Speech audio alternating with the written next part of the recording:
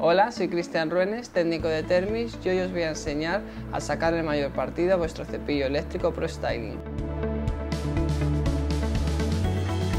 Para este tipo de peinado vamos a realizar unas particiones, en este caso separaremos la raya lateral para conseguir un mayor volumen en la zona delantera e iremos por detrás de las orejas separando para trabajar la zona trasera de un modo y los laterales de otro.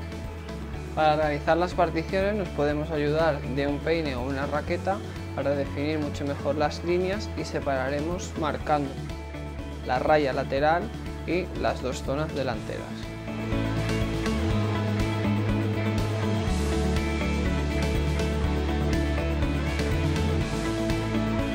Una vez tenemos ya las particiones hechas, comenzaremos a separar las secciones. En este caso vamos a trabajar en horizontal para dar un mayor volumen en la raíz. Separaremos horizontalmente y dividiremos el mechón en dos secciones para trabajar independientemente. Para ello vamos a utilizar el cepillo Pro Styling.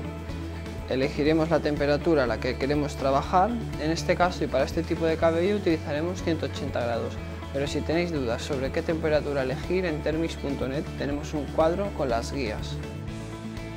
Para este tipo de peinado utilizaremos la técnica de brushing normal de cepillo y secador. Enroscaremos todo el cabello sobre el propio cepillo, intentando pulir bastante las puntas, dejaremos durante unos 10 segundos cerca de la raíz y desenrollaremos en forma de círculos.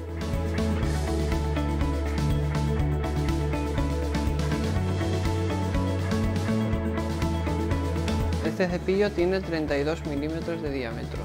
Con él podremos conseguir este tipo de ondas que están bastante abiertas y según la medida del cabello tendremos unos resultados u otros. Si fuera una media melena conseguiríamos meterla hacia adentro y también lo podemos utilizar de manera inversa, es decir, en vez de pasarlo por debajo, utilizándolo por encima del cabello y conseguiríamos un efecto de puntas disparadas.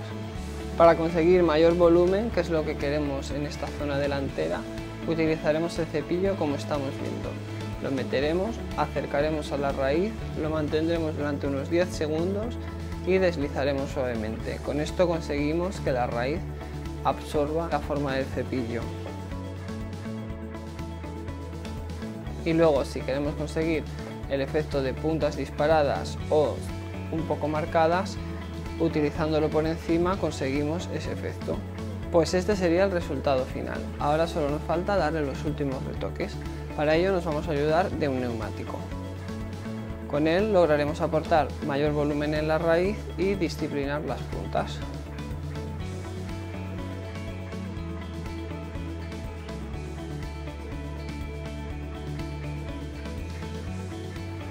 Pues este sería el resultado, una melena con mucho volumen, una onda definida y muy brillante.